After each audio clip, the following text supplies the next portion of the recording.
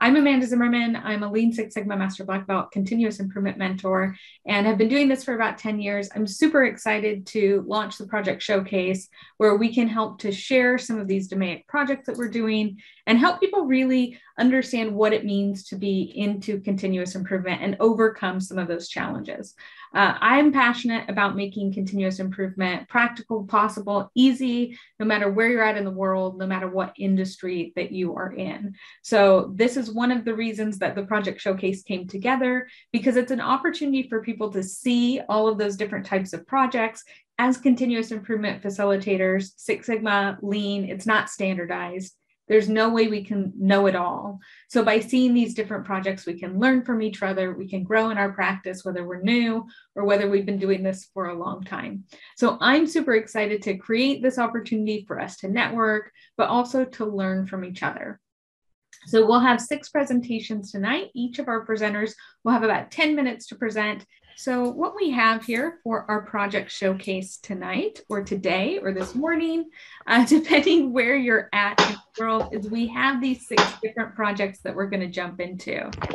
Let me just get set up here so that I make sure that we're following everybody along. All right. So, Mateusz, how are you doing this evening? I'm very well and not even sleeping at the moment. So you're in Poland, it's, right? Yes, I'm in Poland. It's about 10 past midnight. Wow. Wow. Well, I'm already on Wednesday. well, we appreciate you staying up. And then we also have tonight, we'll also have Kimberly Ward Barowicz, John Ireland, Aiman Sakr, uh, Rodney, and Dominic. So uh, we have quite a few awesome presentations for you today. Are you ready to get started, Mateusz? Mm, yes, I am. Awesome. So I'm going to go ahead and put on the timer for us so that we can stick to that 10 minutes, making sure that we stick to our timeline here. And uh, we can go ahead and get started whenever you're ready. Okay, uh, I think I've pressed this ask to be followed. I don't know, mm -hmm. can you see how I'm zooming? Okay, that's brilliant. Uh, so, hi guys, uh, my name is Mateusz Nowak. Uh, like Amanda said, I come from uh, Poland. I live in Poland, very close to the Krakow. Beautiful city. If you want to come and see or visit, just please let me know. We can pop out for some kind of beer and talk about more Lean Six Sigma projects. If you want to contact me, please join my network. Uh, here are the details. You can find me on LinkedIn. Uh, why I joined today? First reason, uh, Amanda invited me, but the main reason is because I like to meet new people and uh, check basically how are you doing with the DMAIC um, methodology, the DMAIC toolbox. Uh, you can help me basically by uh, sharing with me your experience. I like uh, sharing knowledge. I like learn from other people. So uh, never say never. Always good to to talk with another expert. Uh, I like travel with my family. Mm, I've got wife uh, and three kids. Uh, I like dancing. I hate cold weather. so in Poland, it's not very easy. And uh, I don't like discussions that leads basically to nowhere. But saying about our project, because we have only 10 minutes. So the main reason why we took that project is uh, lack of capacity. Uh, as a company, we were facing uh, working on six days, uh, what was a uh, very extremely big cost for the uh, for the company. We wanted to get back on a five days shifts, um, and uh, the overall effectiveness. So the factor uh, I was looking at my very first Lean Six Sigma project was on the level of 88.3 percent. This is what was reported from the uh, from the department, and the goal was uh, to achieve at least 91%. This is from the voice of the customer level and to be safe uh, from the company perspective was 93% to be achieved. Um, when we went to the define phase, uh, we of course created the project charter. Uh, we put all the stakeholders, uh, we put all the team uh, that will be uh, doing this project. We done the Ishikawa diagram uh, just to you know um, find out what key parameters have the biggest impact on our OE losses. Um, and we um, find out about about six parameters that have the very big impact on uh, on our OE. That was the cycle time, the changeover, uh, crane activities for the operator, uh, cutting saw. Uh, I will explain that a little bit later. TPMs and breakdowns. So all of them six. You know, in the Greenbelt project, you were supposed to take one and improve one, but that was my first project. I wanted to do it big. so I took all of them six within the same project. Uh, in the measure phase, uh, we received the data from the uh, manufacturing department uh, going from whole quarter, the fourth quarter of 2018. Uh, but I wouldn't be myself if I wouldn't confirm that data. So we've done a, a photography of the day uh, to find out all the informations that are in the reports corresponding to the reality that is on the uh, on the shop floor. And unfortunately, it wasn't. So what happened uh, when the re reports are showing differences in few areas, mainly changeover time, some crane activities, and something that was called as orders, and nobody knew what it is inside the, the orders. Um, so we couldn't make any improvement decisions uh, based on that reports. Uh, so we done some statistical analysis and um, for them uh, for them reports and call, uh, find out the the uh, three values uh, that uh, had got unstable uh, coefficients of variation. And that was the, the stoppages called orders the changeovers and additional activities all related to the material movement. So we took that to very close our attention uh, going to the improve phase, knowing that we had got differences between uh, old reports and the data that we have from the reports, we created new reports um, so we could find out more about the orders. So we split them in a few categories, uh, and then we gathered new data that we could make any decision um, on them. Uh, we created also the changeover matrix uh, that was done just for the planners so they understand how big uh, impact on OE losses have uh, all the unnecessary changeovers. Uh, we also find out about the vitality of the saws because wherever they were new ones put on the machine, the operators put the machine a little bit slower uh, and then when the machine, when the when the saw uh, had um, uh, sorry, I forgot the word, but uh, when the saw could cut at the high speed, um, the new the new saw could work, for example, for the thousand pieces. But whenever they uh, they sharpened it in the tool um, tool department, this took, uh, for example, uh, only 500 pieces for cutting. So the operators uh, didn't want it to, um, to lose on their performance, so they slower down uh, the machine so that saw, for example, could last for uh, the whole shift.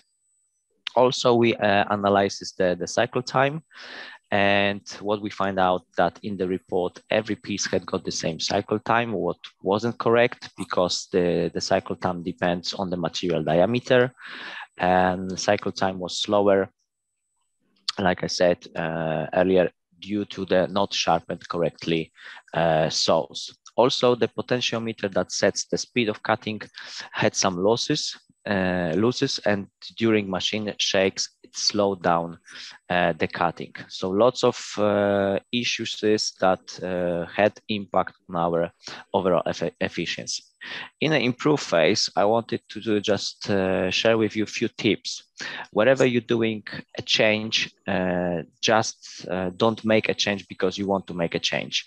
Explain to every people why and what is the true reason of that change then you will get much more support. If you're doing change just to change then every everyone will will be blocking you Uh, one very important point, always make sure you work on the validated data, verified data, uh, as you may uh, make wrong decision based on the wrong data. So if we would take all the reports as a valid data because they were reported, so they were supposed to be okay, then we would make complete wrong, uh, wrong decisions.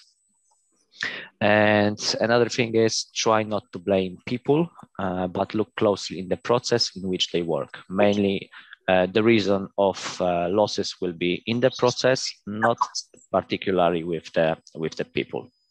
So once we had all of that clear with the department, with the manufacturing department managers and the stakeholders, we went to the control phase uh, when we started to run the uh, run charts that will showing wherever we are outside of the um, of the OE level that is uh, minimally required uh, for our process.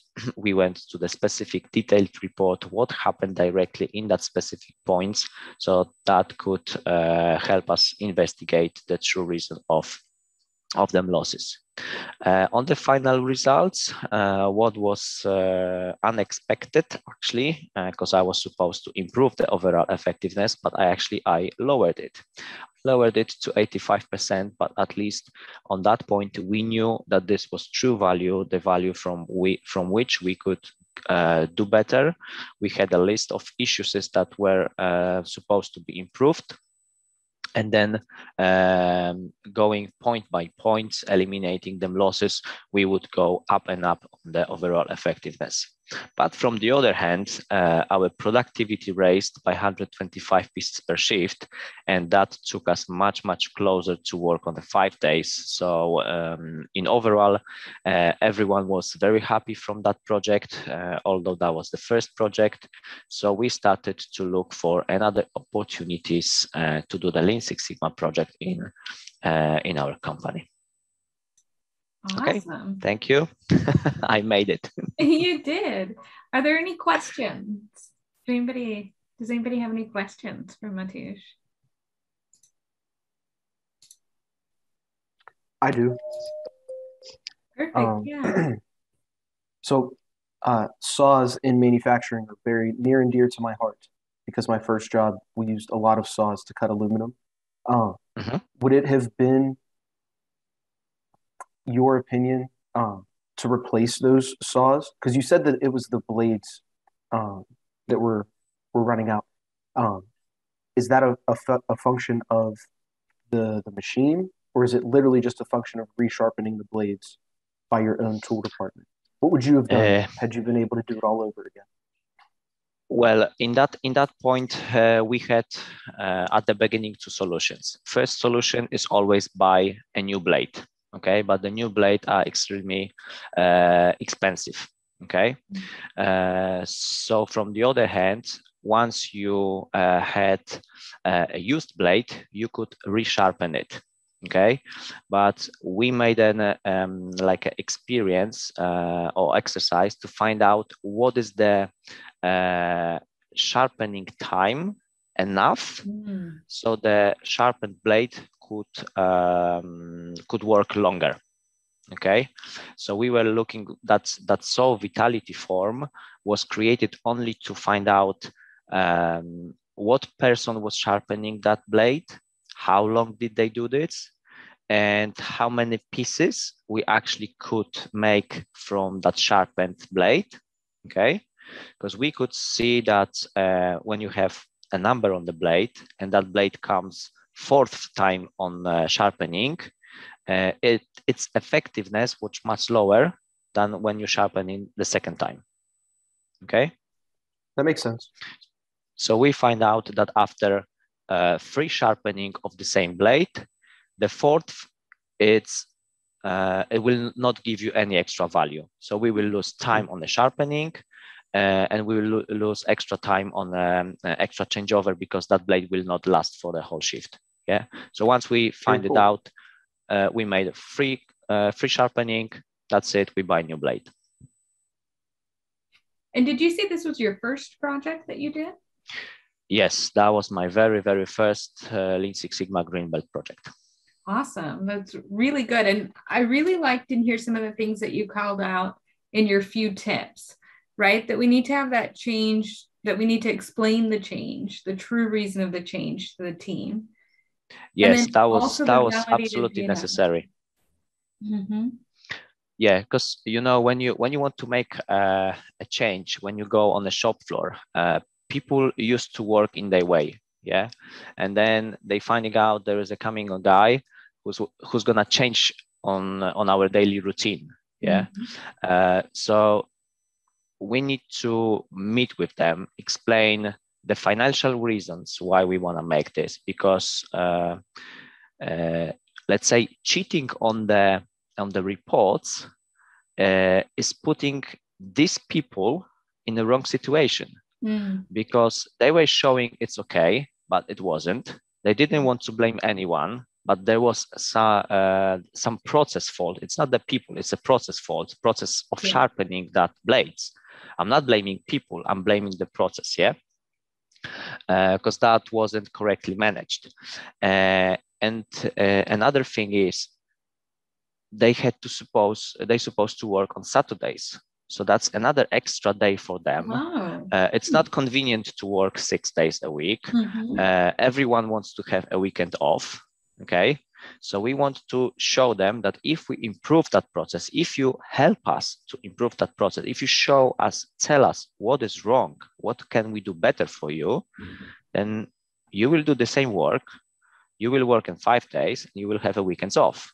It's a win-win situation. Mm-hmm. Mm-hmm. So the true reason of the change and the discussion uh, pays off.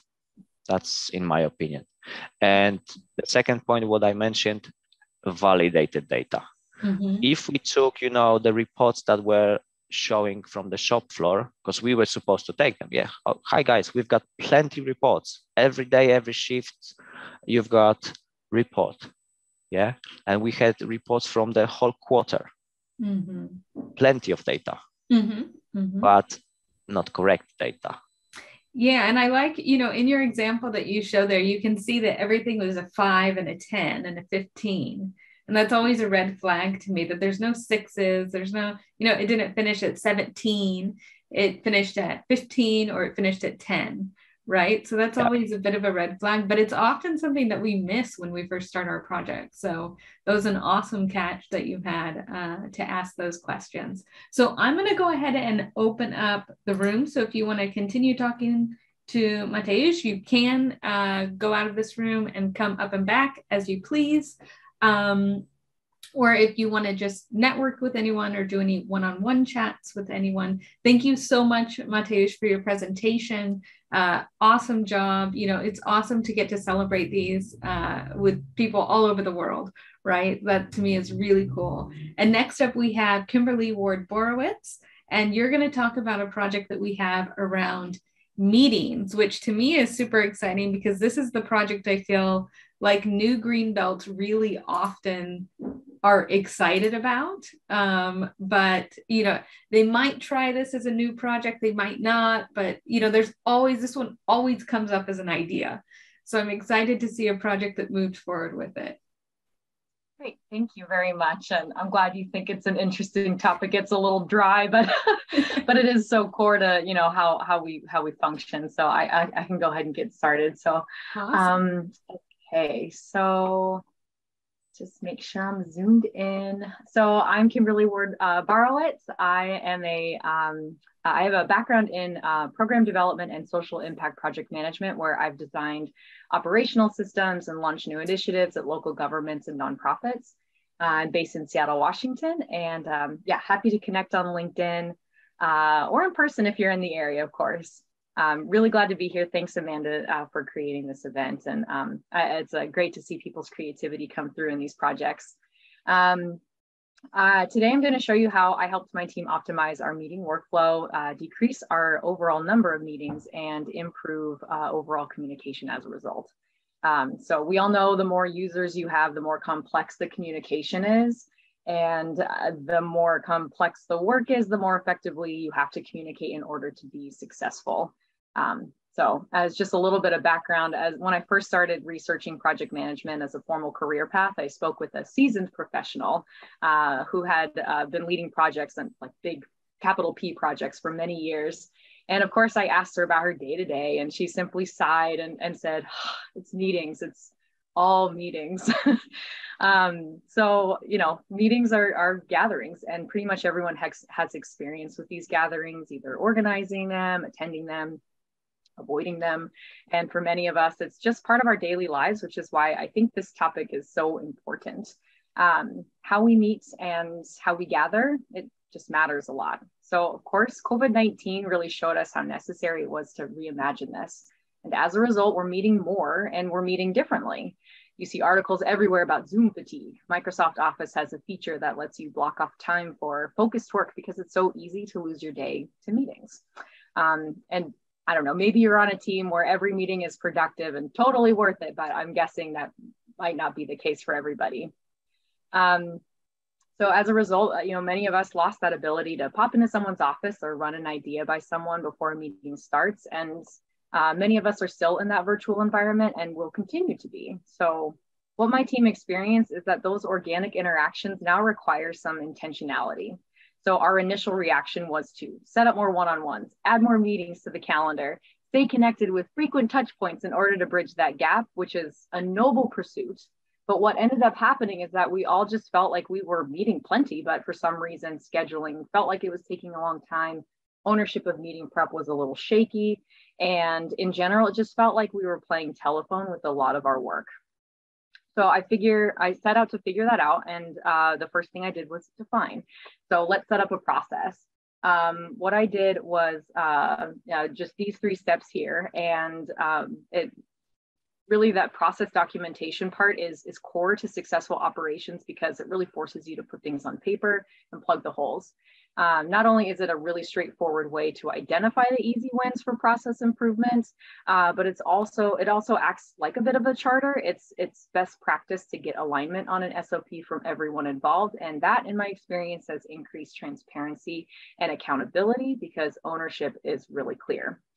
Uh, so we walked through these three steps. I gathered feedback. I established an SOP for the entire meeting workflow from scheduling to follow up for internal and external meetings and kind of defined that future state uh, for the SOP. We knew what we were doing for the most part. So how to, could we just make those little tweaks to make that uh, on paper as kind of the official SOP? And I have this little icon here if, if you care to take a look at the workflow and, and see that as a template, um, if that's a useful resource. Uh, so in order to accomplish these steps, I do my best to act as a systems thinker. A key competency of this is uh, thoughtful inquiry. So asking open questions to reveal holistic information and continuous improvement and seeing the system as a whole is much more than doing a lean or looking at a static snapshot of a bigger system.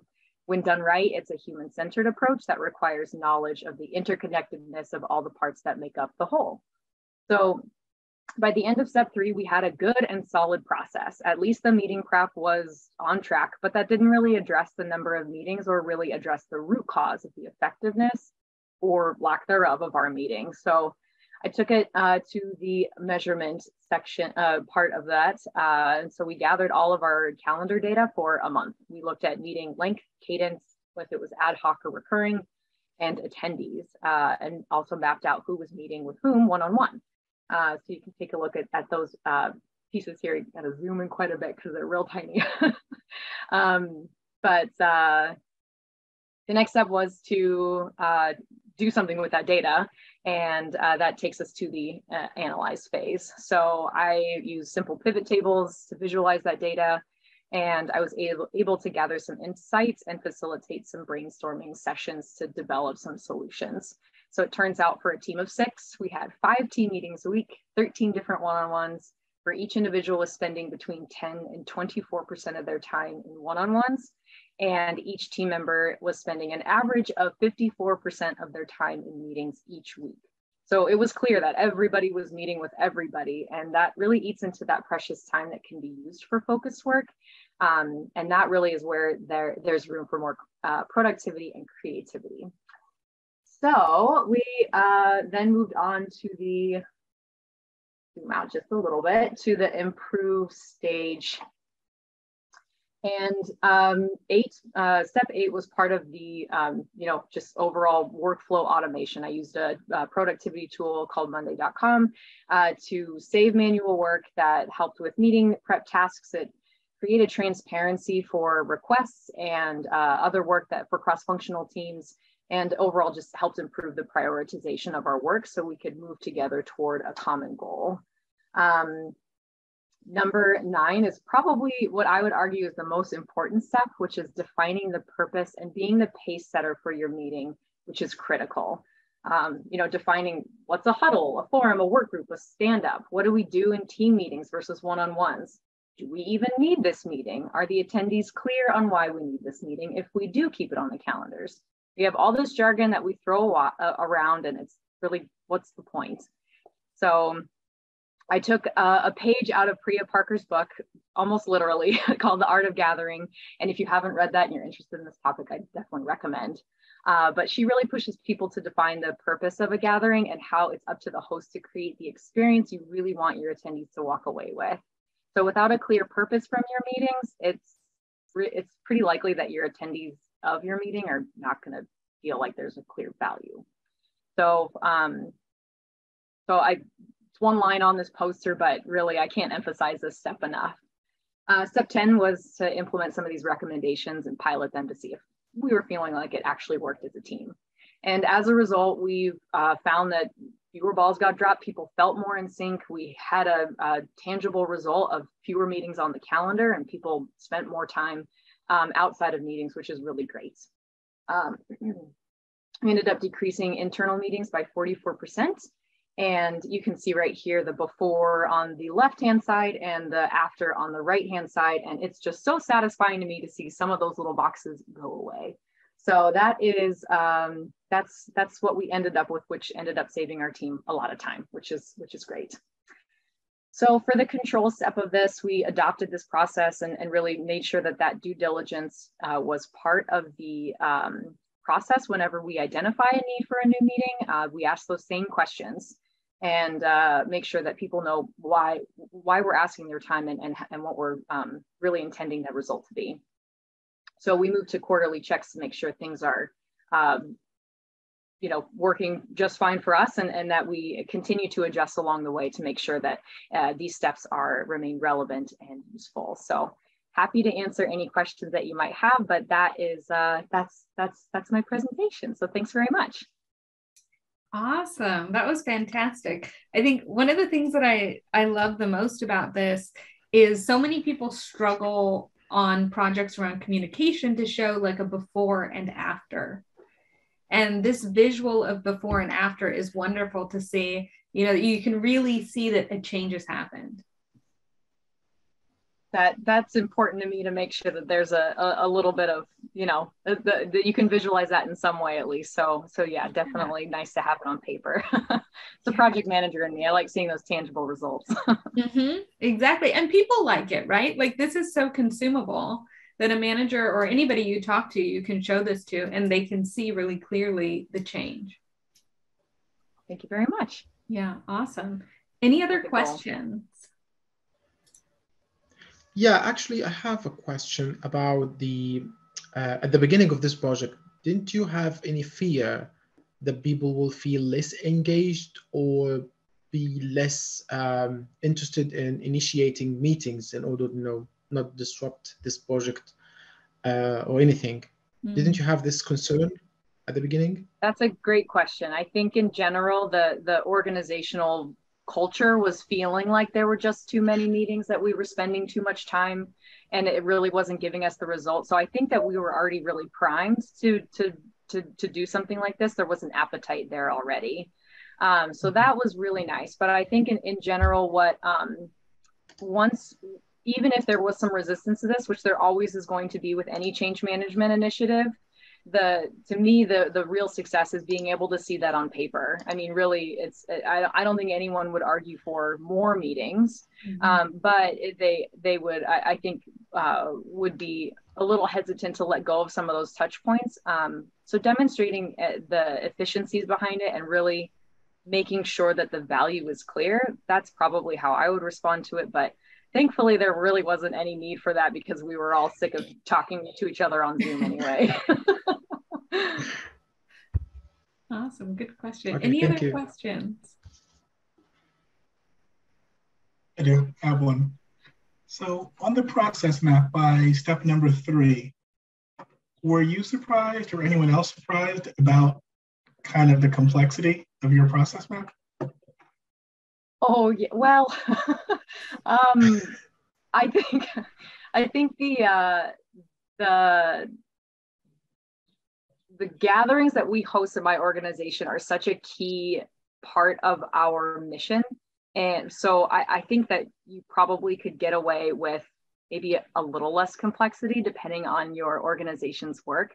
But the other thing is, is that I would also challenge that many process maps and flowcharts that I see maybe aren't as detailed as they need to be. Mm-hmm. And it's really easy to to find those that it's really easy to find those holes sometimes if you have to lay it out visually like this and ask yourself at every turn like is the handoff being accounted for are you able to to really demonstrate where this work is going and who really owns it so yes it was surprising um, but I really tried to simplify it and it really is that complex for the for the most part mm-hmm. for our team. So um, yes and yes. awesome. Thank you. Yeah, it was a great a great project to to share with us and I like how you brought broke it down into these different steps as well. Awesome. Thanks very much. So we have the the other rooms open. You know, you're welcome to move between those if anybody wants to connect one on one.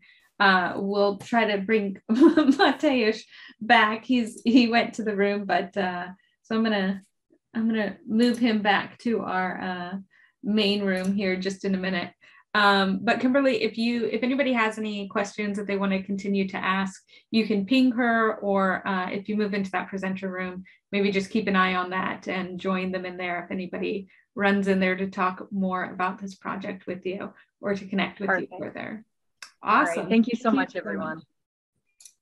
Awesome. So next up we have John. How are you doing tonight or today, John? I think it's night for you, isn't it? It's late afternoon. Yeah, I'm doing well. Thanks. Awesome. So I'll just get that so that we'll be following you on the mural board. And uh, whenever you want to get started, uh, you can go ahead. Thank you. Um, thank you all for being here. I know time zones are difficult to manage, and I know some of you are really late into the evening, but thank you for being here. Um, I'm the Chief of Innovation and Senior Process Manager at um, the United States Air Force Academy. Um, currently in Colorado Springs, that's where it's at. And um, best way to contact me is LinkedIn, or you could reach me on my email. Yes, I still have a Yahoo account. Um, I joined today because I like seeing growth in people and organizations through small continuous improvement. And I think if you're not always continuously improving yourself or the organization, you're just maintaining.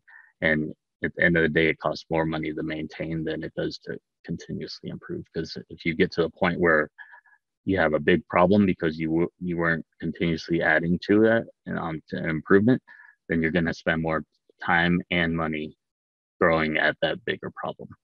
Um, you could help me um, telling me about any challenges or barriers you've encountered with your continuous improvement projects. Uh, let's see. Could you zoom into the I like because I have two screens that I split. Um, I like Kaizen events. Yes, I do like Kaizen events. And I often see people when I run these events tell me um, we don't have time to run a Kaizen event. And it blows my mind because they do have time for an hour meeting um, back to Kimberly's point, um, an hour meeting each week for the next, I don't know, quarter. So you have time to, to draw something out and continue going on the same path, but you don't have time to do a weeks long event and dedicate that time at that moment. Um, so that frustrates me um, when people say that and they come to me and they say, we just don't have the time. Um, can't read that trying to pull it up right now. Are you able to zoom in on that? Yeah, if you uh, it's actually following you. So if you navigate oh, it's on me. back to okay. your uh there we go. There you go. Awesome. I know that. it's confusing when we share the screen sometimes with the mural board. So no worries. Um, I like travel and concerts. Um, I like working from home. Um, my job has the luxury of being able to hybrid work. So sometimes I go in certain days, sometimes I don't. Love coffee. Um, I don't like people problems. So when people come to me and say, I have this problem and here it is, and they outline it, and we look in and start um, defining the problem, and we realize it's not really a problem at all. It's not a process problem, at least. It's a people problem. You just need to follow procedures. I don't like mean people. I don't people uh, don't like resistance to change, and I don't like um, changes to fit personal agendas or feelings. So um, anytime someone comes to me with a problem and it's just you know their personal feelings that they need to change it because of X and it's all to their personal agenda, then um, I kind of steer clear from that.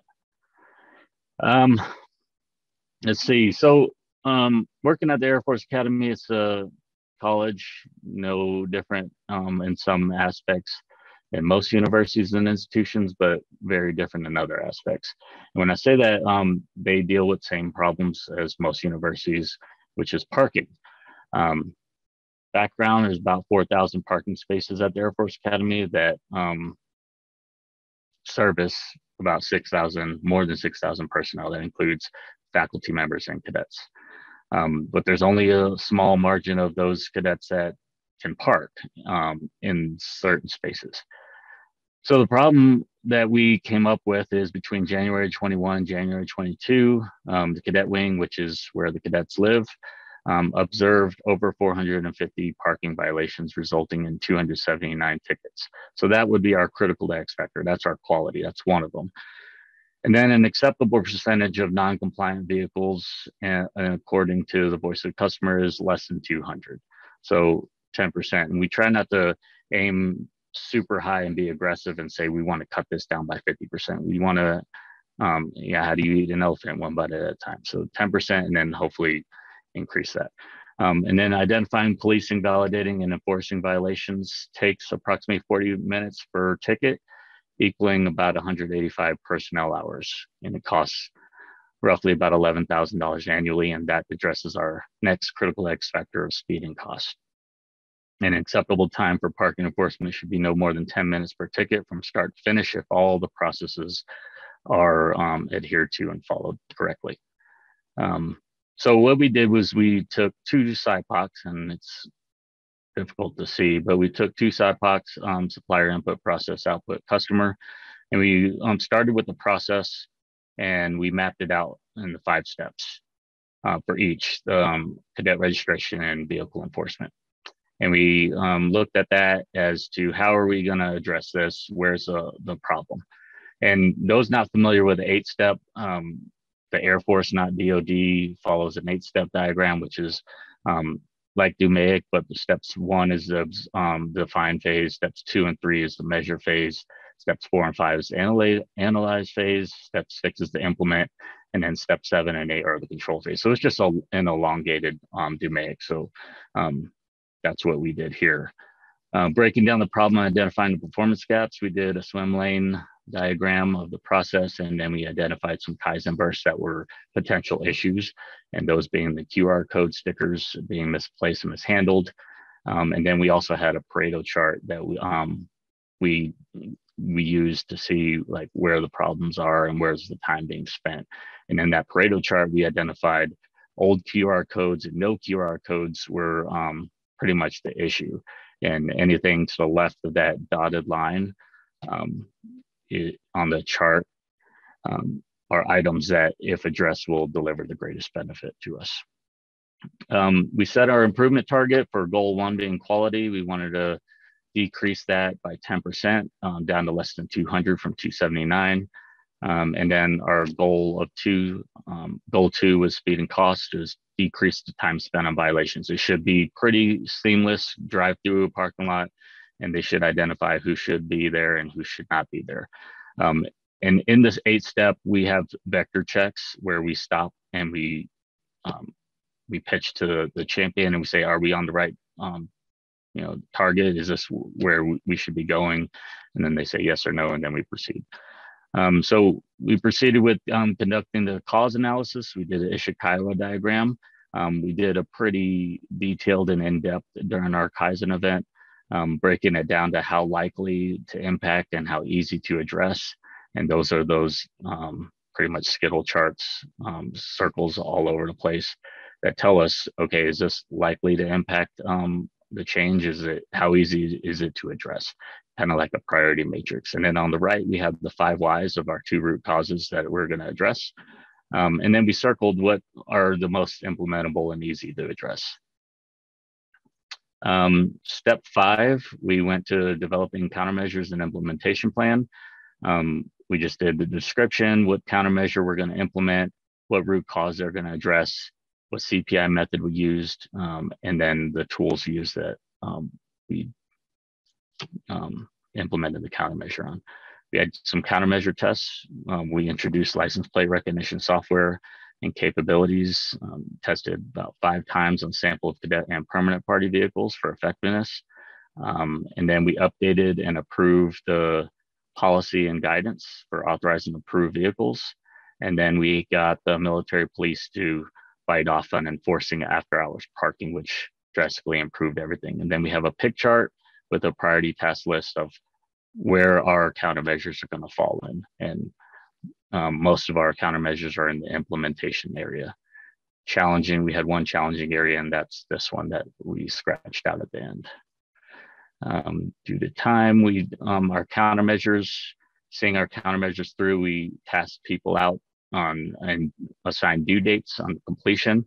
And we were specific and detailed as to what they were actually going to do. So when they left the meeting, they they knew this is my test, this is my suspense state, this is what I need to um, provide to the team, and then um, briefing updates as to where they were at to implement all these changes. After the changes are rolled out, we confirmed results and processes, um, and then we saw um, our goal was achieved of an average of 15.6 tickets per month, which comes out to if we were to continue this through a full year, it would be roughly about 180-ish tickets, which met our threshold uh, um, and our goal. And then average time per ticket since we implemented the license plate reader software, um, we achieved that and reduced it to nine and a half minutes instead of that 40. Um, our standardized successful processes in the troll phase, um, most of it was standard work, and then we had um, sustainment for daily meetings and um, existing KPIs. Boom. Oh, wow, that was awesome. right on. Sorry, I ran through that really fast at the end, but um, hopefully everyone's able to follow it.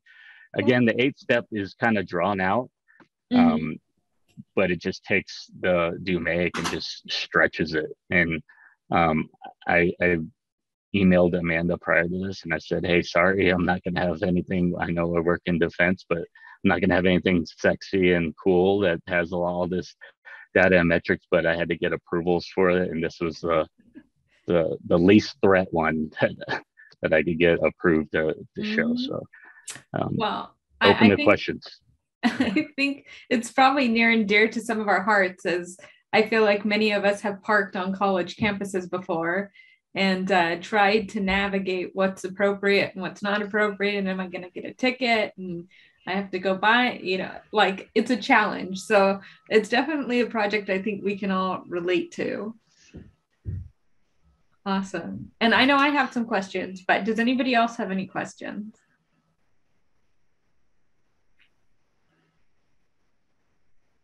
All right. One of the things that you called out that I really liked was that you focused on the 10% goal rather than the 50% right? That you had like an achievable goal. And I think it's really common for people at the beginning to say, we're going to reduce this 75% or 50%. So, what made you choose 10 over those 50 or those 75 that a lot of people jump to first? Um, dealing with college students and knowing that it's going to be hard to nudge them and um, a lot of the change that are implemented and imposed upon um, college students they kind of just brush off, especially when they're not enforceable um, through payment because um, they're they're government assets, so we can't impose fines on them. Um, Hmm. as cadets, um, if you're active duty, you can, but as cadets, we can't impose a fine on them. So it was difficult to push that. So we said, what is a um, a measure that we could put in place that's not so aggressive Mhm. that we can say success was made Yeah. and everyone in the room agreed that you know 10% was probably the average from the room that we all agreed upon Good. Any other questions? And I like as well, you know, while this is focused on DMAIC projects, a lot of us have different versions of DMAIC that we use or that we've learned that actually, you know, still fit in to some of that same thinking. So it's nice to see, you know, other perspectives on that that are still using those different tools. And really, it's what's right for you or what your organization is using that um, that you want to focus on. So the other question I had for you was on your root cause analysis, your Ishikawa diagram. You have the red, yellow, green, and I think you mentioned really quickly what that meant. But can you tell me again what those indicate? Yes they, indicated um, the likeliness to, um, to impact the overall objective and how likely it is or easy it is to address and implement. So um, greens all the greens they meet the threshold of um, very likely to impact um, the, when we implement the change um, impact on the countermeasure. So when we implement the countermeasure, how likely is that to implement a change? And then how easy is it to address? So the greens are easy to address and very likely. And then the reds are not likely to impact anything um, and then um, not easy to implement. And then, and then the yellows are kind of in the middle, like somewhat easy to implement um, and then somewhat likely to impact your overall. Awesome. Thank you. That's so just much. something I do. It's not, I, I don't necessarily see that a lot, but it's just something I, I like to throw up there for when we're um, hosting these kinds of events for people to say, I want to do that one. And then it's like, Mhm. well, let's look at it. How easy is that um, to implement? And, you know, is it likely to impact our, our end game? If it's Mhm. not, then that's just a moonshot. So we'll just get rid of that. Yeah, and I think, you know, when we're new to continuous improvement, we think I have to follow A, B, C, D, E, right? Like I can't vary from uh, what's in the books of what I'm supposed to do with the Ishikawa diagram. But in reality, there's dozens of different ways that people use the fishbone to identify the root cause or select improvements. So it's it's good to get exposure to other ways people are using them that work well for them. That maybe that works better for me than another approach. Uh, I had someone in another group call it a Fishikawa diagram, right? So we've got all these different names for this same uh, diagram, the C&E, right? Um, so I appreciate you sharing with us kind of something you've done that's made it easier for you to show others uh, what what's going on in the project. Uh, any other questions before we move on to Aiman? All right. Thank you so much, John. And uh, awesome job. Awesome project, even though maybe it's not as exciting as, some of the Air Force projects we do. Awesome. Aiman, how are you doing tonight? Uh, I'm doing good. I feel a little sleepy now. Yeah, coming to us from midnight. the UK. yeah. Well, I, I appreciate your time, everyone, for this. Uh, and I thank you, Amanda, for inviting me to this uh, incredible event. Um, my name is Aiman Sakr. I am Principal Continuous Improvement Engineer at Dynex Semiconductor, based in Lincoln, UK.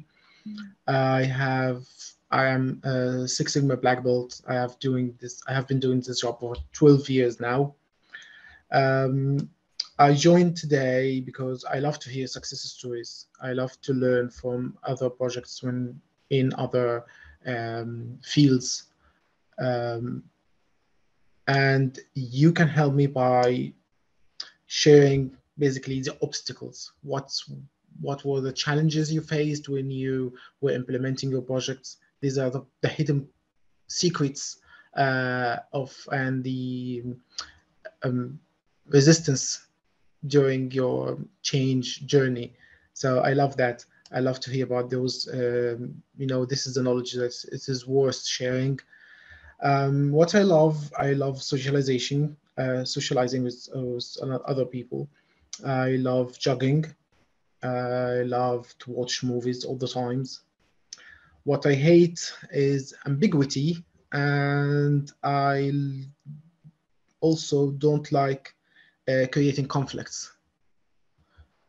So, um, moving to my project since we have limited time. So first thing first, in order to understand what's um, uh, how did we found about our problem, you have to understand that it is this is an example in the semiconductor industry, which is uh, a rapidly evolving industry, and R&D is extremely important um, inside the, the semiconductor in manufacturing. So uh, the management took the decisions that every part failed uh, on the field or you know failed in inspection, we should get it back for full analysis. And we set a KPI that the engineers have to meet a deadline, which is completing the full analysis of an, an uh, of the part, which might take several days, in less than 10 days for every return case. So how did we know that we have a problem? The answer is in the define phase. So in the define phase, the management started measuring their the KPIs. They have found that the, the engineering departments have failed to meet the uh, target. They actually only met 60% uh, of the target, which is a very, very low number. They were hoping for 80% of all return cases to be finished in less than 10 days, but the engineers didn't actually met the 60%. And we noticed in the last year that there was an increase in the number of customers complaining about how long it takes us to actually resolve the complaint. So it is a complaint about complaint. Can you imagine? so um, when I first uh, was assigned to, you know, uh, create this project as a black belt, I asked myself when they give me these two failed parameters, are we actually using the correct KPIs to measure the efficiency of our uh, customer return process? And are the engineering department is the only one uh, accountable for achieving the right uh, time to, you know, resolve the issue? The other question is, uh, well, if there are other departments, do they have other KPIs as well? So having all these questions, I kept them on the side, took them with me to the measure and analyze phase. So in the measure phase, which is the phase that for me, uh, I use to, you know, get as much data as possible, get as much number as possible. I started with the obvious number, the number that's actually being reported with the the numbers of uh, total customer complaints, the number of customer complaints regarding delay in resolving issues, and the average uh, time it takes the engineering department to resolve the issue the, based on the uh, last two years uh, data. Um, then I started digging deeper using data from something called the customer complaint log, where we keep all the information about uh, any uh, return or complaint case from receiving the complaint until the resolution. Uh, I have calculated the average days it take to resolve an issue from receiving the issue until the resolution. I subtracted this from the average days uh, the engineers take to create the analysis report, plus the average shipping date uh, time, the time it takes the part to move from the customer's end to our stores. Then I found that there are extra 10 days of time hidden, not knowing anything about it. The, the, um, it is the time it takes other department to process the customer complaint, which was not ac uh, accounted for. Because this is merely an engineering industry, engineers only focus on the technical part but the admin um, activities around the uh, customer complaint is not um, put into account. So we started moving to the analyze phase, where we mapped our process. So in the analyze phase, I started mapping the whole process from start to finish, from the time the customer service receives a complaint until the part comes into stores, moving to the QA where they create something called the corrective action report, and then the analysis done by the engineers, review again by QA, and at the end, send an email to the stores for disposition and for customer service team in order to confirm the resolution with the customer. We have started something called the um, value analysis process, where will look basically at every activity and label them as value added or non-value added. And we have discovered the following findings. First, we have uh, noticed that there are four different forms used in order to handle the customer uh, complaint, which is which um, include a lot of redundant data entry, a lot of information basically copied from one form to the other. And there was another uh, redundant data entry for using the um, customer return log was, was basically the a spreadsheet that the every department have to copy the information from their forms into this spreadsheet in order to you know create uh, uh, some analysis or dashboard or something like that. And another thing we you can see here is that the engineering department was basically the, the, the company think is they are have the high impact on the analysis process. They engaged in the uh, customer return process very, very uh, late on the process. They, not, they don't know anything about the process until they receive an email from the QA department to let them know there was actually a turn case. Um, and this is one of the major problem we have. Another major problem, and this is on a strategic level, that the company took a decision to return every part, regardless of uh, what the customer would say. So this was very, very significant because we didn't listen to the voice of the customer. We didn't actually put into account what is the history uh, of this part of this part with the customer, what is the technical background of uh, of this of this uh, technical issue we have. Do we actually need to return every part or not? So we move to the using these all of these uh, findings, we move to the improve phase, where we took an action in response to every um, finding. So now customer expectations are not identified. We have uh, guided the customer service team to start capturing the customer expectation as a part of the data gathering. So when we they start uh, gather information, they have to ask the customer what, what are the expectation, and the engineering manager have to assess every um, return case and be engaged at the beginning of receiving the, uh, the, the complaint so they can assess the feasibility of returning the part for testing and for, for analysis.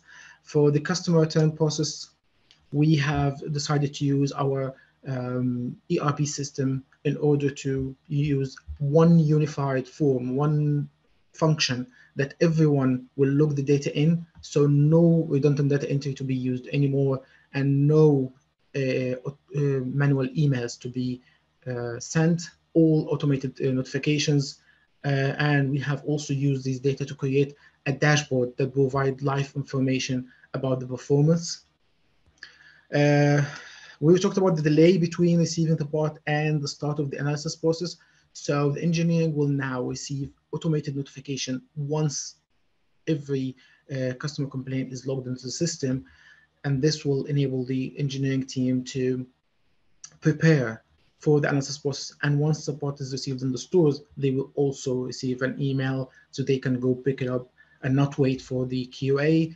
Um, having all of these um, imp improvements to the process actually reduced if we look at the future state uh, process flow, you will find that uh, comparing to the original process, there are a lot of uh, non-value added activities have been eliminated. We actually have eliminated 40% of the non-value added activities using automated notification, using one platform on our ERP system instead of using multiple forms.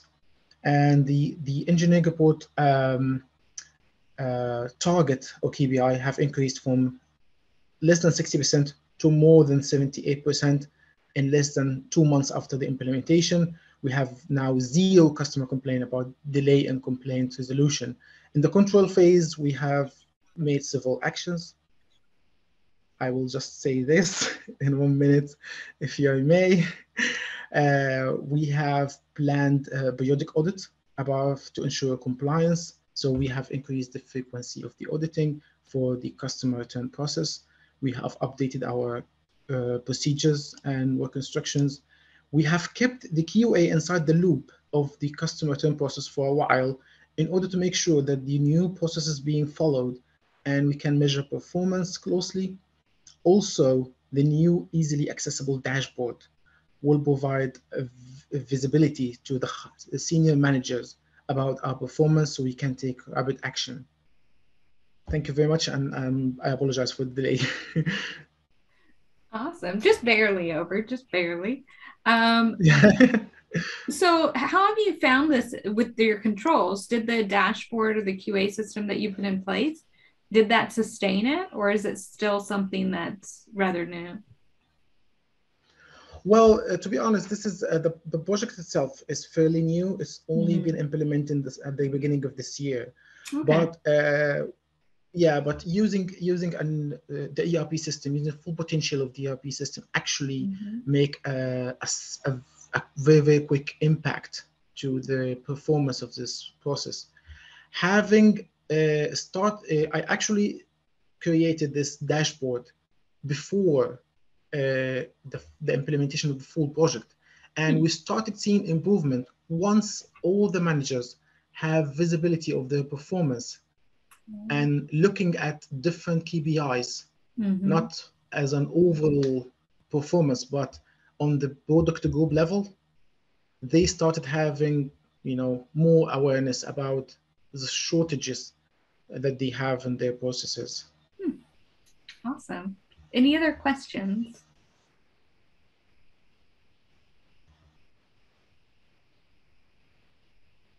Yeah, I really like that you developed that single source of truth, right? Where people can go back and everybody's using the same data, because that's a waste that we often see. Yes, exactly. Uh, as I told you, they the, the, company if you are working in, in an engineering based company you you quickly can overlook the admin processes which might take a lot of time which might mm-hmm. affect uh, the efficiency one of the, the main problems we have is the engineering department have to wait for the qa to let them know they can start the analysis process and what was the problem here is the part can be received in the stores today but the the, the QA engineer have other uh, tasks to deal with. Mm-hmm. So the, he can finish this task after one or two days. This is two extra days. The customer, we have an angry customer waiting for a decision.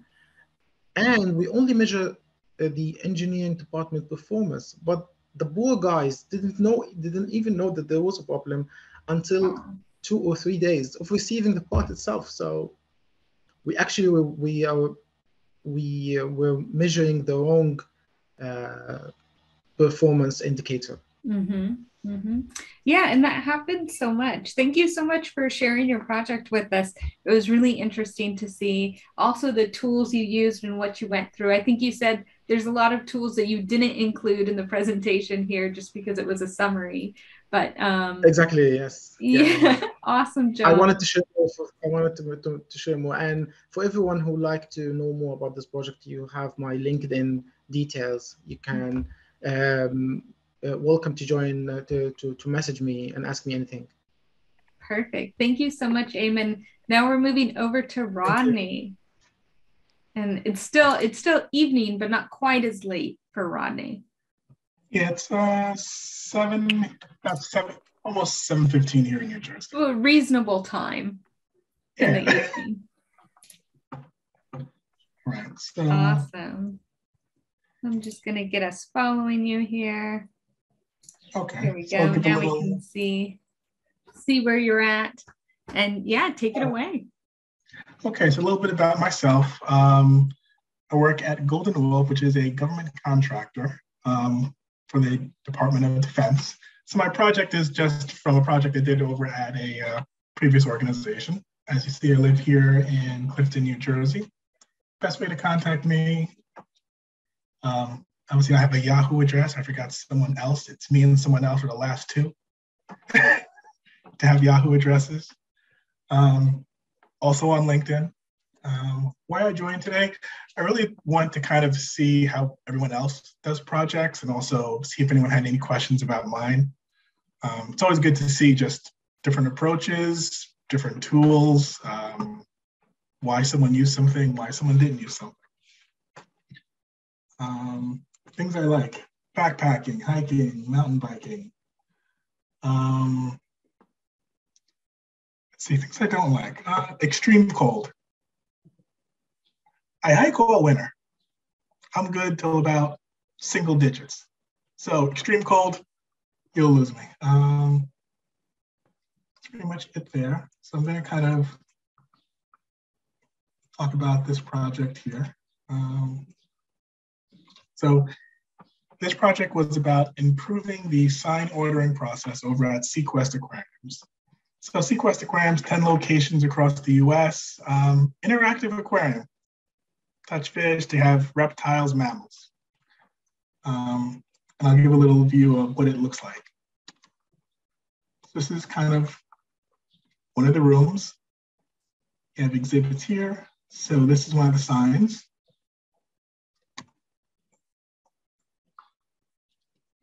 This is the gift shop.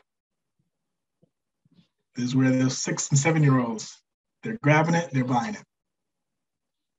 Um, this is kind of one of the signs as you go towards your room. Obviously, that's a fake shark, but all these signs are kind of what the project is, re- is revolving around. Um, is one of the exhibit rooms. So this is right here is they call a creature feature. So it's kind of a little placard in front of what you're looking at, gives you a little history about the animal, where they live, what they eat, how big they grow, um, things like that. So kind of, uh, I'll give you a little background on how this kind of hit the radar as um, it needs, you know, a process improvement. So obviously you have 10 locations. Um, a lot of times usually the executives or the director of operations would do kind of visits to different sites, just kind of doing inspections, whether it's for safety, building inspections. And one thing they always complained about was either you're missing signs or I see a lot of handwritten signs. You know, I went on Word, made a sign, used some tape, put it somewhere. And that, that was one of the major complaints. And the sign process was run at a home office. So what the general managers would always say is, hey, I requested this sign three months ago, five months ago, six months ago, last year, haven't seen it. So I made my own workaround. So I kind of brought this issue to light and said, hey, our sign process is just simply not working. Um, we really need to kind of, this one's right for uh, process improvement. So I'm going to zoom in a little bit on my current state map. So as it is, we have a general manager, COO, marketing director, someone in marketing, third party graphic design company, and our printer. All these people are involved in our process. Um, one of the major pain points is because this was like very Google company, people would have to go on the on a Google Drive and look for signs that they wanted. So one of the main points was can't find it. We also found out that people um, didn't have access to all the folders. So when you look, you definitely don't find it. Um, we have a lot of approval approvals in here. Um, another pain point was people didn't know the dimensions or materials of signs they wanted to order. That was a huge pain point because the printer will always ask you, what size of material, and then you don't know, and you go, I'll get back to you. That added to some of the problem. So,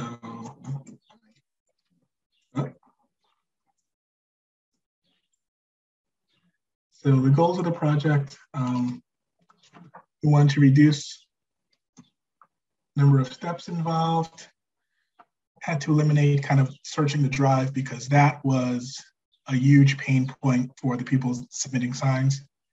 Disorganized, couldn't find anything, and the permissions for the different folders weren't set.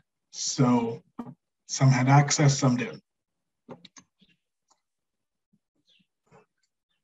So I kind of put two charts here. We have not just is the process an issue, we also had a backlog. Um, so I kind of a little characterize the type of signs. So creature features, those signs that are right in front of the exhibits made up more than 80% of the backlog. And let's see, as of August 18, there were still signs unfulfilled in the process from a year ago. So that really kind of showed that, okay, we're not getting to these and that's why people are complaining and signs aren't appearing at the aquarium. So this is kind of our did our fishbone diagram. This was a great exercise I did with the marketing team where we kind of had everyone go around and talk about, you know, in these different areas, what's causing, you know, the major issues as far as the process. And after doing a couple rounds of putting things on there, they identified three major things that are affecting this process. Um, lack of useful information being provided on the form, two a day production rate, because we also found out that our graphic designer was on a subscription basis and that was the max they could do. So when you have a backlog, if you only get in two a day, that backlog is going to grow as long as you're requesting more than two a day. And we also found out that we didn't have a dedicated person to take care of the sign process. So kind of went from here and then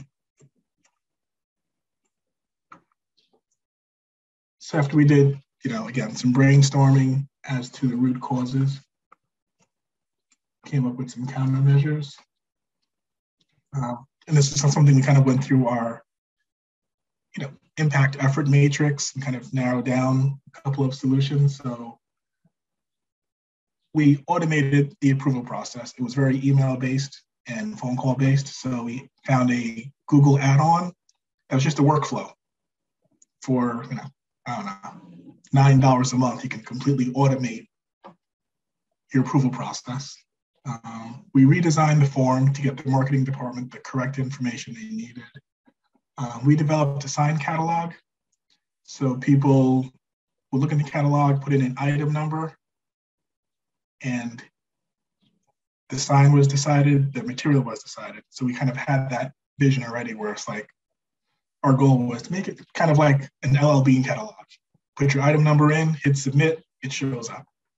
And that, that eliminated everyone having to know dimensions and materials because that was just pre-filled on the item number. Um, we utilized an in-house graphic design resource we had, so we kind of got out of our subscription. So now we, had, we released that bottleneck. Um, and we use, uh, if anyone here has heard of Zapier, that kind of automates a lot of manual back and forth between Google, your spreadsheets, and different things. So all the back and forth we took care of. Um, we used the Gantt chart to really schedule out how we're going to roll out the process. We started off three sites for 30 days, make sure nothing broke, called people every week, how's it going? Um, as it ramped up, we kind of included more more sites because we also needed some more volume because we thought we are going to roll it out. We we're going to get 100 requests a week and we could really see. Turned out we got like two a week three a week. And we were like, all right, we need to roll some more people in here to see, you know, if this thing's working. So that was kind of how we uh, did the Gantt chart. So this was kind of our process map after, where everyone fills out assign requests, put a workflow in, approval. If it's ready in the catalog, it goes right to the printer. No one else is involved. They get the order, ship it out. And uh, so the results, we reduced the number of process steps from 14 to six, um, reduced the decision points from five to three, no longer spending time on the Google Drive. And we also made a form where you can now order 20 signs at once versus uh, one by one. That's kind of, um, that's my project. So if anyone has any questions, feel free. Yeah, that. Awesome. Well, I think this is in- super interesting just in the fact that it's in the tourism industry or in an aquarium essentially right like it's not the place that we usually think about continuous improvement yeah but, it was um so just a good old fashioned broken process that needed to get fixed? Yeah broken in so many ways. You had seven lanes on that swim lane chart. You had those hmm. access issues which i imagine in your industry you have turnover issues as well which means that that hmm. access thing just keeps getting worse. Seven, was it five or seven decision points in this, right? Like five decision points in making a sign and then having the person have to know the dimensions and the the type of i mean we're putting so much on individuals Mateusz yeah. Dominic, did you have a question um, I just want to say to Rodney that this is great example that the uh, Lean Six Sigma can be applied in any industry. It doesn't have to be necessary manufacturing. Uh, it can be office, it can be tourists, it can be finances, it can be everywhere. Uh, and uh, this is just showing that uh, you know simple kaizen and simple lean tools are great. I'm not saying they bad they're great but uh, lean six sigma just uh, requires from you as a project leader to uh, dig deeply and looking for answer on your questions. And when you get the answer you open an eyes for everybody you're showing the big picture, how the process really looks like. And then we can discuss how we want this process to look like and where, where should, should we do the uh, uh, true improvements to make that works for everybody. Mm-hmm. Shining that light in dark places. Definitely. Dominic, what was your comment or question? Uh, my question was before you did that Pareto analysis, did you sus- did you suspect that creature features was the largest culprit? Because no. I love. Okay, so that's. I was hoping you'd say that. I love it whenever when somebody thinks that something is the real issue, and then you actually like pull the numbers, and you're like, it's actually this, and then people are like, really? Come on. So that's. I was hoping that you'd say that. That is glaringly the biggest issue. Yeah. No, I had no idea what it was because it encompasses like every sign in the aquarium. So you don't know what's in that backlog, and then you start digging, and you're like, oh, these are clogging it up. And it's a lot of signs too. We're not talking, you know, when you talk about this, I think two, three signs a month, or but you've got a backlog of the creature features of at least 35 alone right? So it's it's funny how these things just start to creep in and get bigger and bigger. Awesome. Well thank you so much for presenting rodney. Any other questions or comments for rodney before we hand it off to dominic our final speaker? All right. We'll get dominic started here. Thank you so much rodney. Awesome job. Really interesting project Dominic, I know uh, we have your project. You're going to be our final project, then we'll have a little bit of wrap up. I'm so excited to see so many people staying on board with us, staying up, some of us quite late, and uh, moving our, our topics forward, getting to hear all these different examples. Dominic and I, I know uh, next month we might kick off a bit of a little podcast that we've been talking about. So if you have any ideas for us, we'd be interested to hear some of those topics. We'll probably look at different Lean Six Sigma tools or specific problems to solve. So uh, that should be a pretty interesting thing that we get kicked off next month. So Dominic, what project do you have for us today? my project, and am I hitting share screen or? I'm going to go ahead and follow you on the shared screen. So we'll be able to, are you the visiting crab? Let's see. I believe so. Nope, I found you. There we go. We're now following you on the shared screen. Okay, one second. So wherever you move in Mural, we're going to move with you. I like that. That's better. Okay, so this project is titled Point of Use Storage Learning to See the Real Savings. I'm picking off of one of my favorite books that I read whenever I first got interested in lean. Um, learning to see is great. Um, I'm going to start off with the bio first, though. Um, I'm an optimistic industrial engineer who is not afraid to make mistakes. I'd rather actually make the mistake first um, to get everybody else feeling comfortable about joining me. Sometimes that helps whenever you're doing Kaizen events or if you're making improvements on the shop floor. Um, I live in Pittsburgh, Pennsylvania, but I currently work for a consulting company. So three days out of the week, I am in a different state all throughout the US. The best way to contact me is through my email. Sorry, I didn't put my Yahoo email, but I also um, still have one. So add three to the list. Um, and the reason that Barber is there, because that is not my last name, I cut hair on the side. And it's a great way to mix the analytical and numbers life with the physical and social life. And I've found that I've been able to make a lot of great friends in that process. Um, I joined today because I love to practice using Lean and Six Sigma tools. After this, if we are in a breakout room, please ask me about my many bins for my laundry that my wife hates. I'm up to seven different bins. And you can help me by putting me in contact with ordinary people who want to approach a problem from a lean perspective. Thinking back about just growing up, I can glaringly see that I just didn't have the insight into how to look at problems differently. And I think that's why I'm so excited about learning about all of these different tools. I just want to show as many people as possible. I'm surprised that nobody else said this, but I love dogs. Um, I'm a big animal lover, and I have a dog. He's the best. I like teamwork. Um, I do not like being away from Gemba. COVID and hybrid work is a little bit difficult for me, but with this new job, I'm able to get out and see what I need to see. And I really, really don't like silos of improvement. It's not fun in, unless everybody else wins.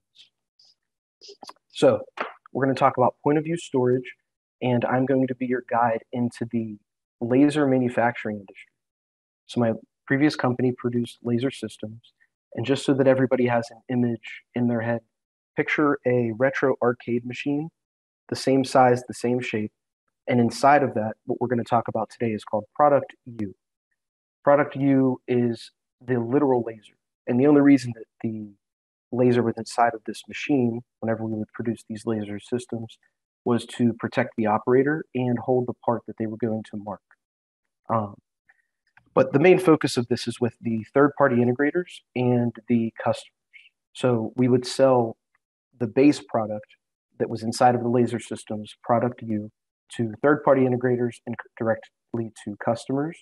And they would implement these directly into their manufacturing processes if they ever needed a serial number or some other type of mark on the product that they were making.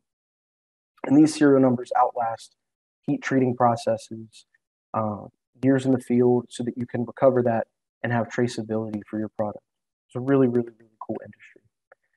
So, my boss and I got together because this was a small company, maybe like 10 max people that were actually on the manufacturing floor, 55 people total in the t- entire company.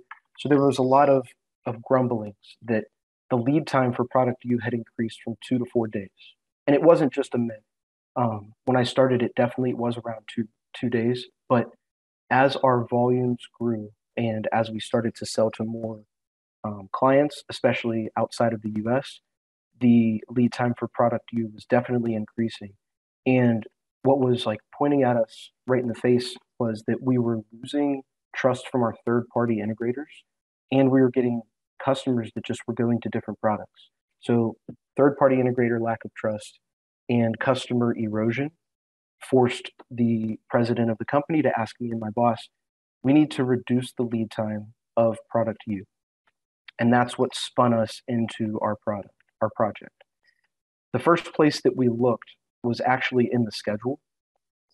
And um, the the part that sticks out the most is, and remember, this is a, an eight hour shift, one shift a day type of manufacturing process.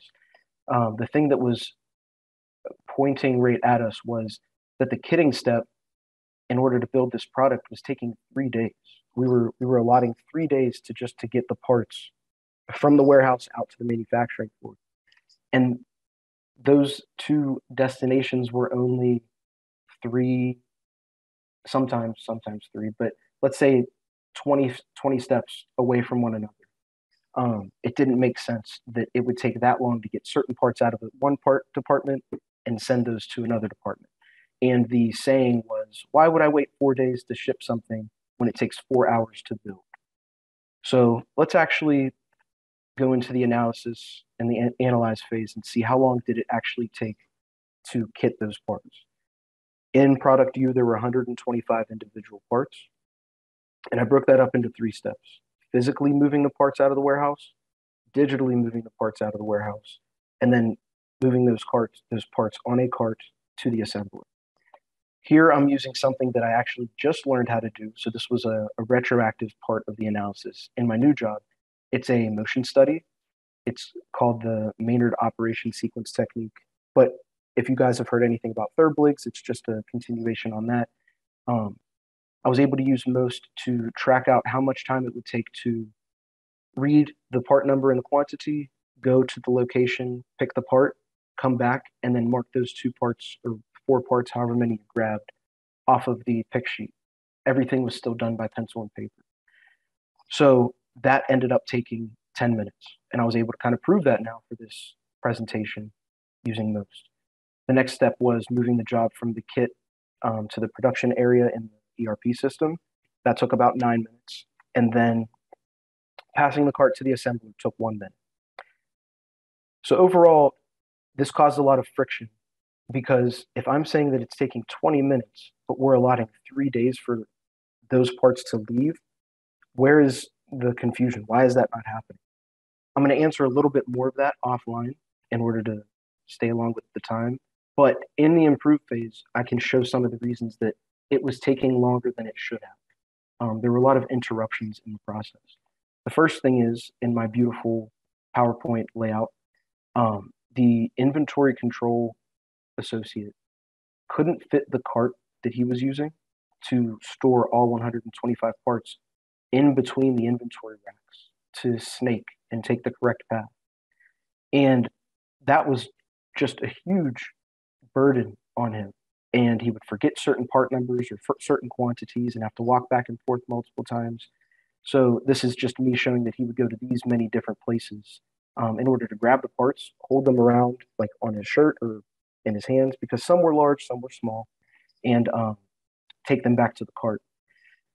Whenever I watched this, because I was in the Gemba space kitting the parts with him, I realized that the parts, the volumes of them weren't that large.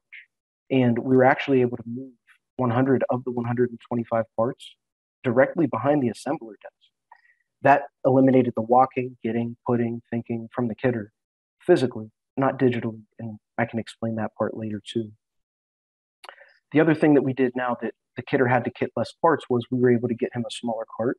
And that number one was less trips overall. But number two, he was able to take a nice route throughout the warehouse and he didn't have to worry about walking back and forth as much.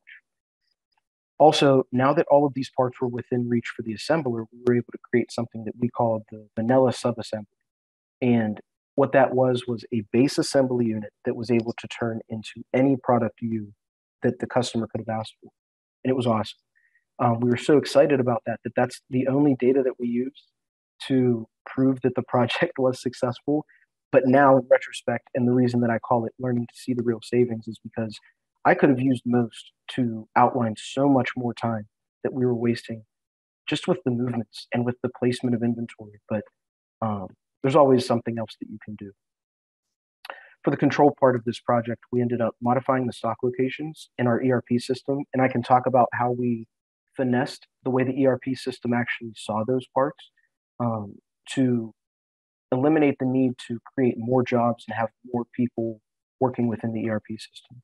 Um, but we also set up a flag so that the receiving department didn't send those parts to the warehouse, but instead sent those parts out directly behind the assembly. Um, the other thing that we did was to curb our excitement. We created a space above the point of use racks to li- limit the number of sub assemblies that we built. Um, because if we didn't do that, we would have started the worst waste, which is overproduction, and produced until we didn't have any more inventory. And we start. We also added on more frequent cycle counts to the point of use space because it was easier to access uh, for the whole company. And whenever things are out in the open, sometimes they get stolen. Um, but yes, five seconds left. I'm open for any questions. Awesome. That was that's a really interesting um, project. Some of the things that that stuck out to me with the cart not fitting behind, and then where you moved things. Did the kitter ever make these recommendations? Like the person putting together and pulling this must have like been raising their hand or saying there's a better way.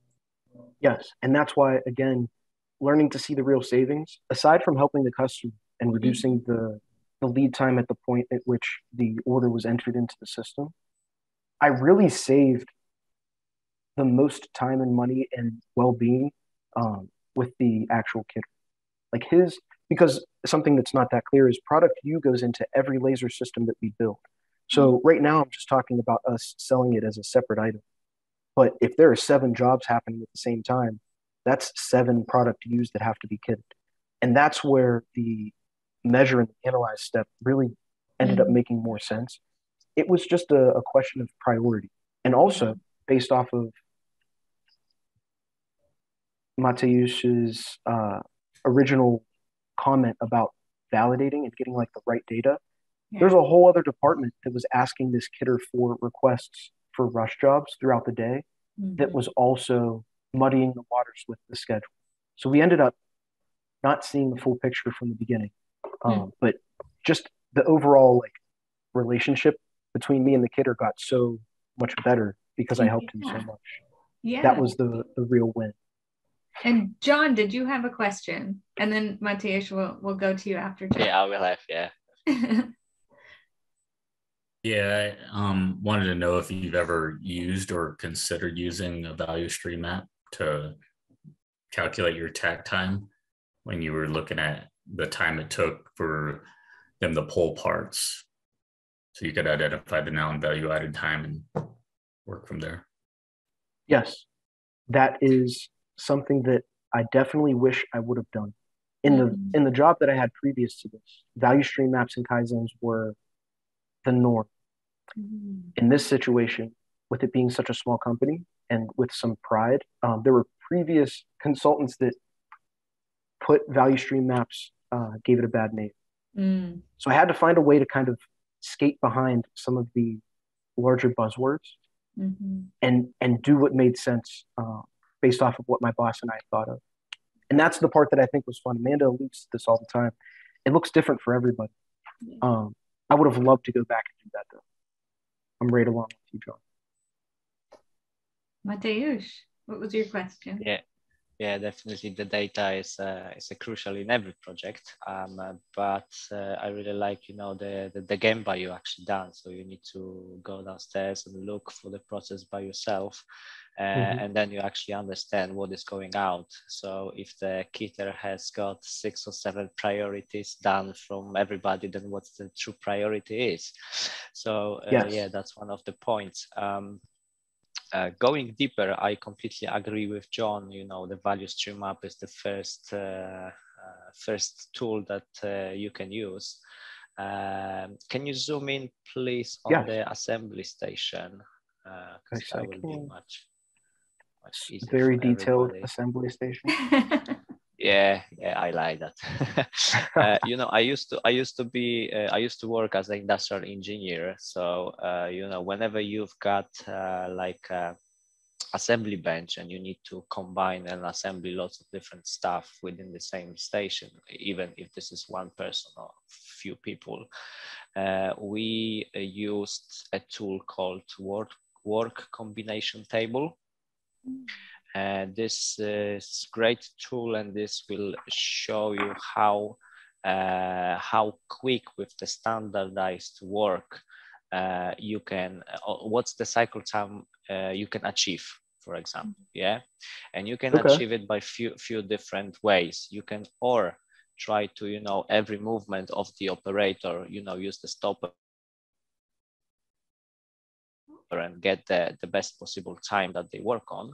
Or going deeper, there is a, a method called, um, let me check quickly in English, it's called uh, MTM. It's a method time measurements.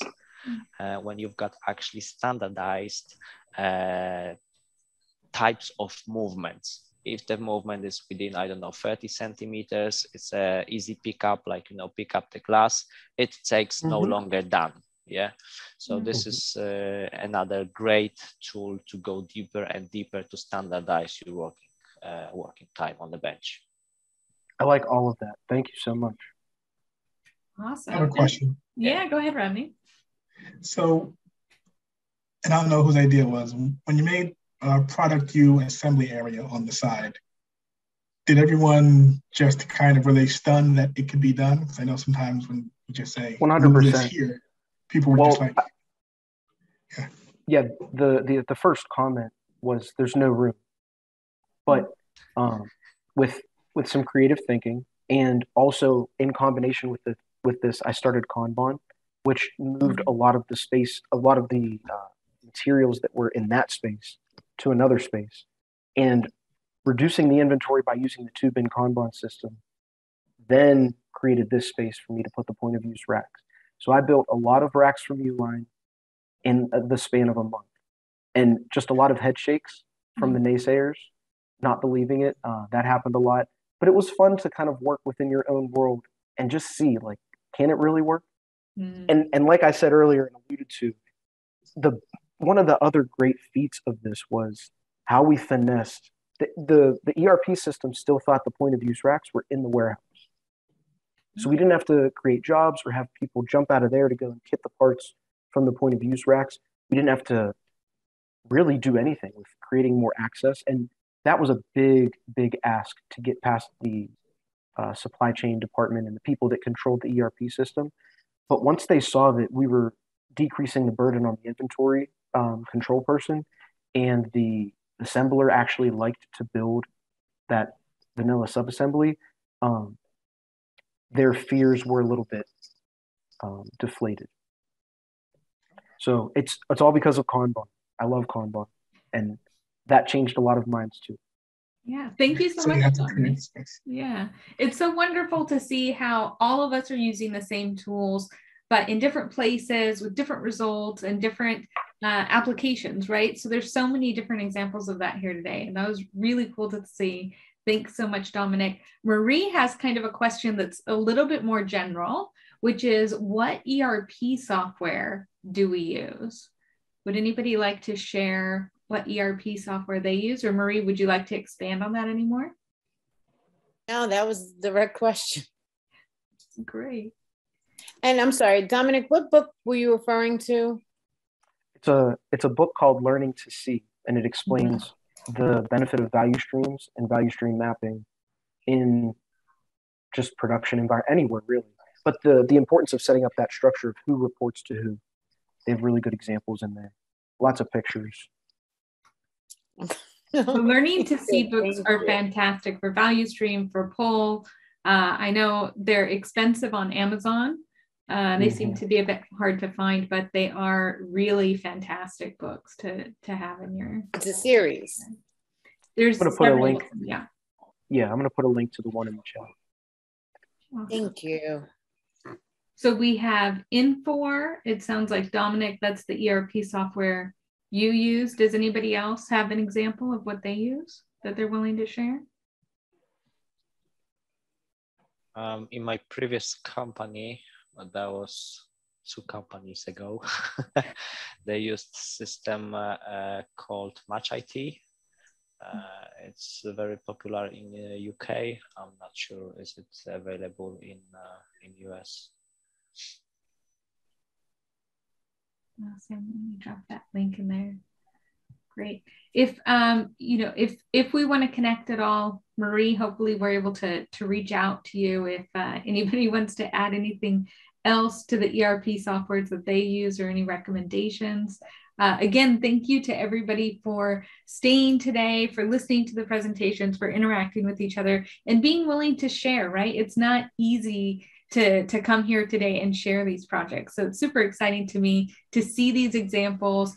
Essentially, you know, if you were at a big organization, you might be able to go to a project showcase or a poster session and see these, but we don't always get that opportunity, right? So it's wonderful to get that opportunity today. Uh, the Finish Your Greenbelt program, if anybody's interested, it is 12 weeks. It kicks off July 20th. It won't be in this time zone. So our next project showcase will be in November, and that will be more in the UK's time zone, so the Europe and Africa time zone. So hopefully we'll have some different students that are able to attend that that weren't able to attend this time. The recording of this, if you're interested, will go up on the YouTube channel next week. And then if you want to reach out to me, I'm just dropping kind of all those links in the chat as we start to wrap up here. Uh, any other questions or comments as we kind of talk about all the cool stuff that we heard today?